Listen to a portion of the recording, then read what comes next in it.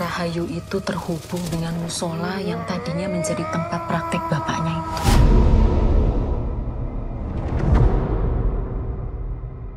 Dulu laganya seperti Ustadz, ngasih musola ke pasar.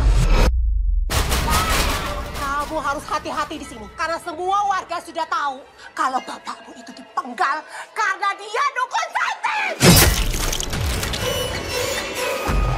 Apalagi setelah peristiwa kematiannya, prasangka orang makin menjadi-jadi. Kamu bisa pindah ke rumah masa kecilmu.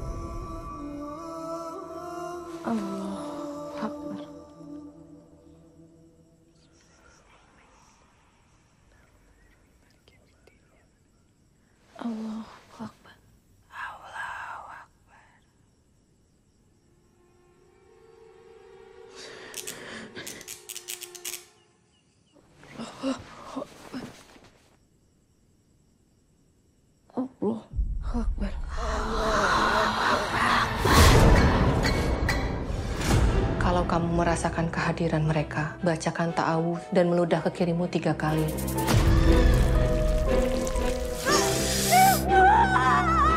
Orang-orang perlu bukti. Kalian harus melakukan sumpah pocong.